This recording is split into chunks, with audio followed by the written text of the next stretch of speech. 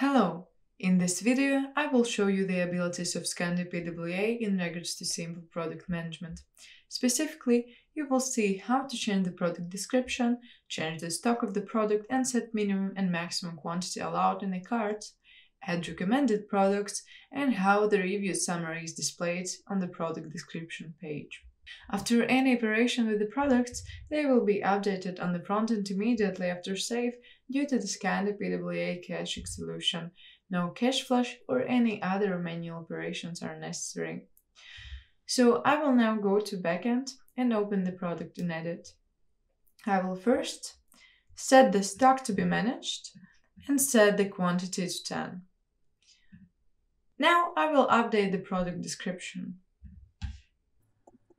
I will save the product and without flushing the cache, I will open frontend, refresh,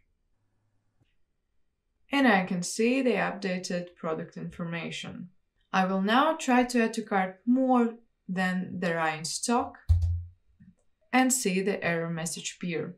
I will go back to backend and set minimum and maximum quantity allowed in cart to 3 and 6.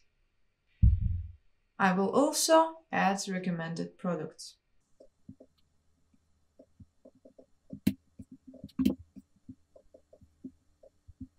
I save the product and again, without any cache flushing operations, I will open frontend, refresh the page, and I can see that I'm not allowed to add less than the minimum is and more than the maximum.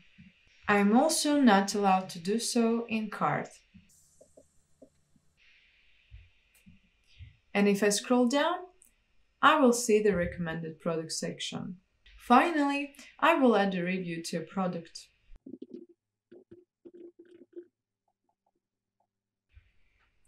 I will now open Backend, Marketing, Pending Reviews, and approve the latest review. Without flushing cache, I will now open Frontend, refresh, and I can see the review summary appeared.